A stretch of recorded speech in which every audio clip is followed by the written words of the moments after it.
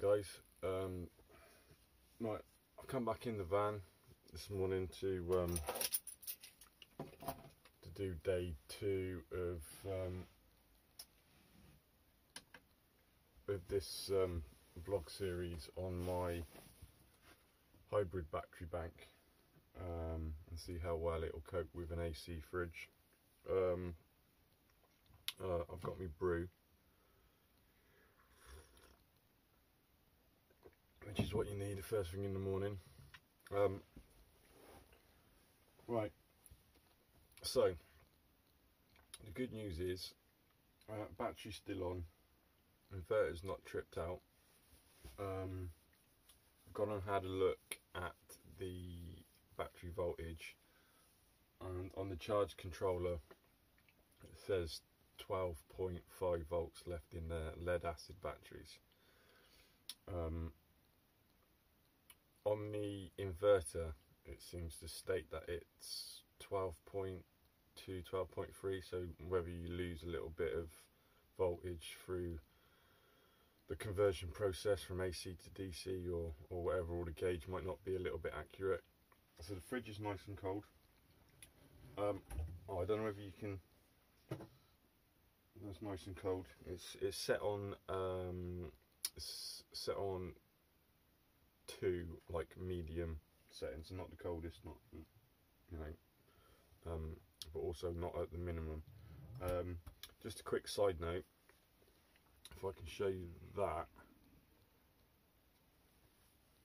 if you've got a side opening fridge, you can get these off Amazon, eBay. All it is is a stick-on child lock, which you pinch in here, and it closes. And um, they won't open. Uh, absolutely brilliant. So when you go around corners and things like that, you, got no issues. Um, so, so far so good. The lead acid batteries are holding up. Um, it's a typical UK cloudy day. So at the moment, my solar panels are literally putting in um, less than one amp back into the batteries so that's nothing. So um, yeah I'm sure the batteries will take a bit of a beating today if the sun doesn't come out. So um, I'll come back in in another five hours um, check how the batteries are doing. Um, if it falls below 12 volts I've decided for the sake of the test, if it falls below 12 volts, um, I'm going to swap it over to the lithium phosphate batteries because I don't want to damage the batteries. So um, yeah, I'll um, I'll see you in five hours. So it's 12:20. Um, I'm back in the van, and um, turn this around so we can get a decent view of it. Um, I didn't think it was um, a particularly true test of um, your battery bank and your inverters and, and everything else just running one 240 appliance. So what I've decided to do is get out this 800 watt oven um, and keep the fridge running while I'm running this. It's just plugged into uh, an extension lead that's run to um, basically another extension lead. So you've got an extension lead running to an extension lead, which isn't really the best thing to do. And then the oven's plugged into that. So it's set to, uh, we'll do it for 210 to, we won't set it to maximum, we'll set it to 200. Alright, so it's going to be set to 200. Uh, the fridge is running. Um, the lead acid battery is on 12.8 volts, right? So we're going to switch it on, we're going to preheat the oven. The fans come on immediately on the inverter. Bear in mind this is between 1500 and 2000 watt pure sine wave inverter and what we're going to do is we're going to cook some oven chips. Now in a normal oven these take about 20 minutes and I have cooked um, I have cooked before in a bigger version of this oven and it takes about 40 minutes to do chips. But this is a slightly different oven. It seems to have a couple of elements at the top where my big oven's only got one. So we're going to preheat the oven um, to give the batteries a real test. It's raining outside there's no sun so I'm getting absolutely no power coming in. I'm getting 1.2 amps. That's actually pretty good. Um,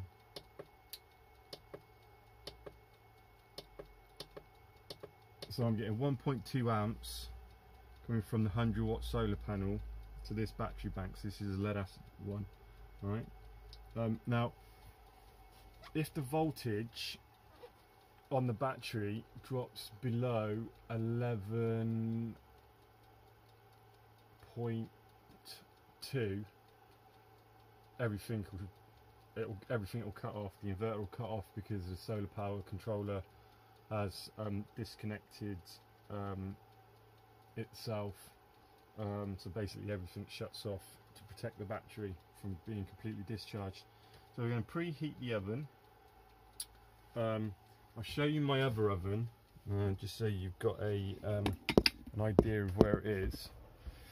So uh, that is the other oven. It's permanently mounted up there, um, and it's got a heat shield up, around it. So it's got metal, quite thick um, steel, all the way around it, which protects it. It's not actually the biggest oven in the world, but it does come in handy and we use it a lot. Um, not the best, uh, not really the best thing for off-grid, you know, that's the reason why people use gas. But this little oven, 800 watts, it could really do the job. You know, it could be a, a nice little compromise between the big one and the little one. So what I'm going to do is um, I'm going to switch off the camera and then we're going to come back in um, we'll put the chips in now they're ready. Put the chips in.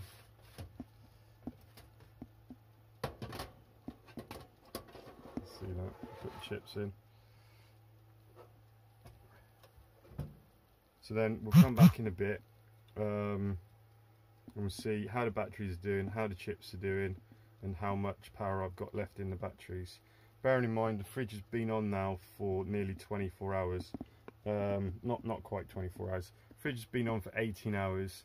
It got um, it got switched on at six o'clock last night. Um, so there wasn't a lot of sun about. Obviously, there's been no sun this morning because it's been raining. So yeah, we'll we'll see how the chips get on, and then um, I'll video it, see what they taste like, see if they take longer than what the packet says. They normally do. We'll see how much power we've got left in the batteries. So I'll see you in a bit. Right, chips have been on for, I don't know, between 10 and 15 minutes.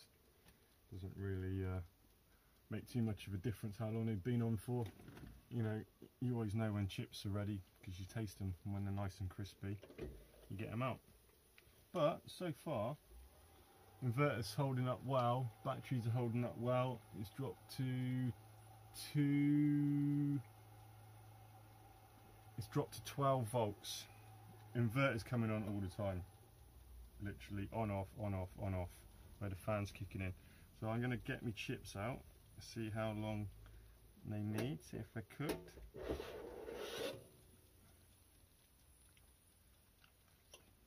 Mmm. Mmm. That's some good chip, mum. Very good. Cooked nice and quick. So I'm going to give them an extra couple of minutes. and then they're going to be done and then I'm going to pop well I'm going to pop a bit of salt on them have my chips and then um, switch the oven off and then leave the fridge for a few more hours come back in check it out maybe make a cup of coffee with the um, with the kettle because uh, again that's a much better test of the battery's capability and the system as a whole rather than just running the fridge. So um, I'll come back in a bit right so we're back again those chips are definitely done now they cook super quick this is a much much better oven um, than my other one. It's a Oopla, Oopla 800 watt oven. Absolutely brilliant. Uses a lot less power than my, my big one. And it cooks chips better. Which is generally what the kids live on when we go camping, so, so that's good. Right, so we're going to get that out, put that to the side. So switch our oven off. So That's the oven off. Inverter immediately switches off. Shoots straight back up over to 12 volts now. Put a bit of um,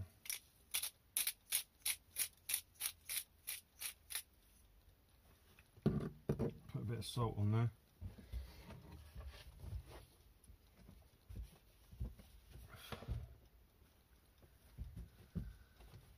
So far, um, my lead acid part of the battery bank is holding up really well. Um,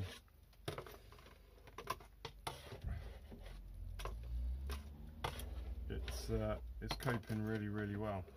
Let's just pop that there. Um, you know, I only thought it was going to last maybe maybe a day. Um, but at the moment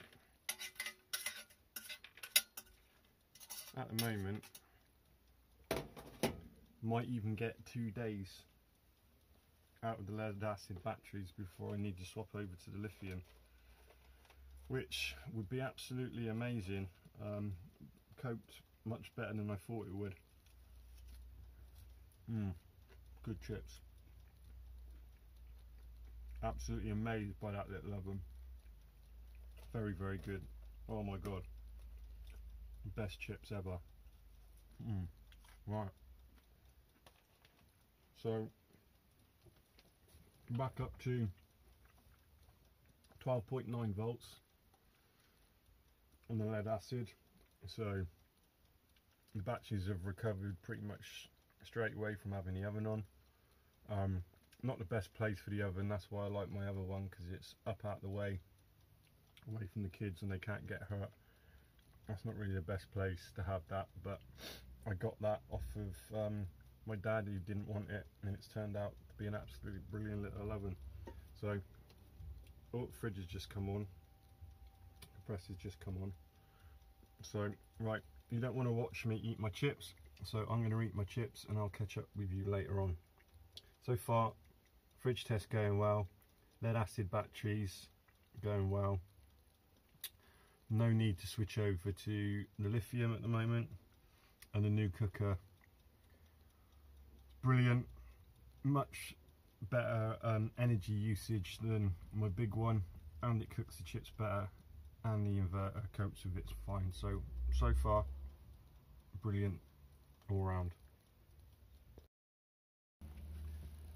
how we doing guys? Right back in the van again for um, continuation of my week long test on my fridge and inverters.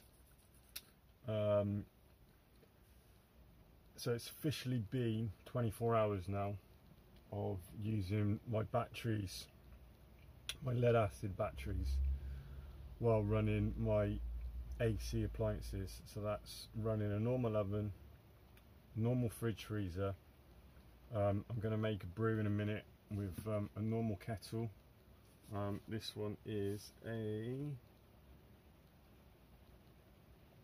800 to 900 watt kettle, so it's a reasonably low watt kettle, so it doesn't take forever to um, boil some water.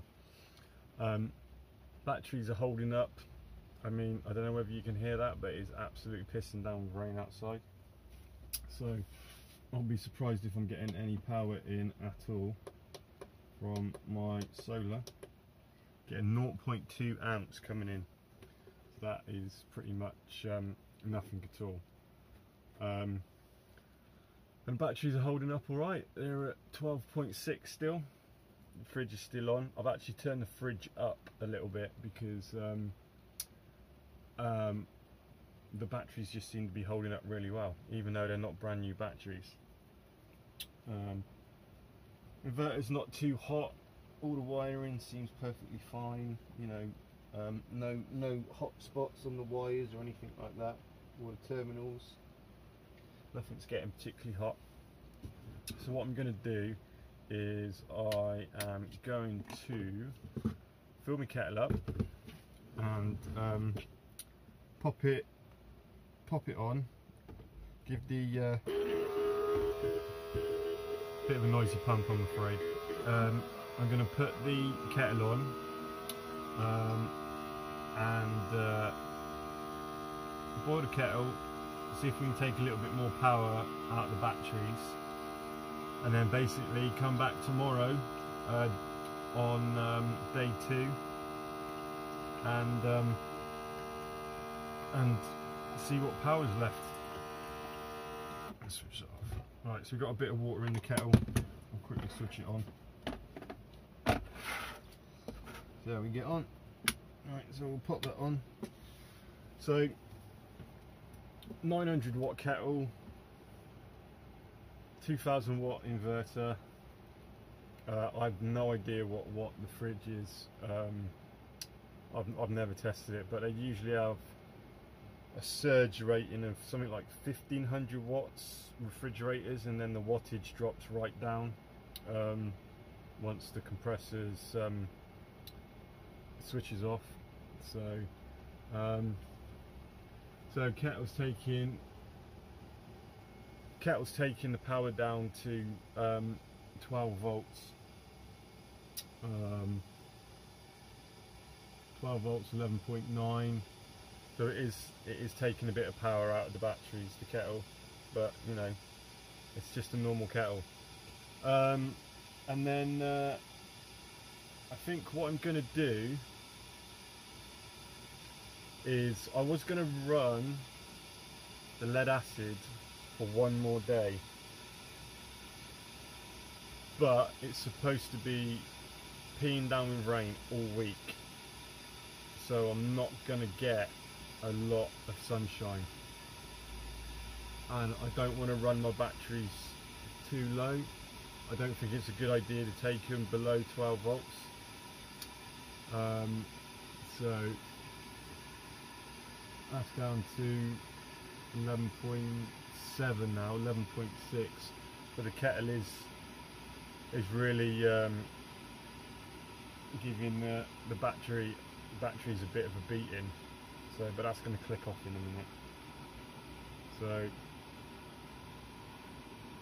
11.6 11.6 11.5 so it's coming to the boil now. Good thing because it's nearly a thousand watt kettle you don't have to wait forever to boil. You know I've got no gas in the van at all. There's no there's no gas for the oven no gas for the fridge. There's no propane there's nothing like that. Everything is run um, off of electrics.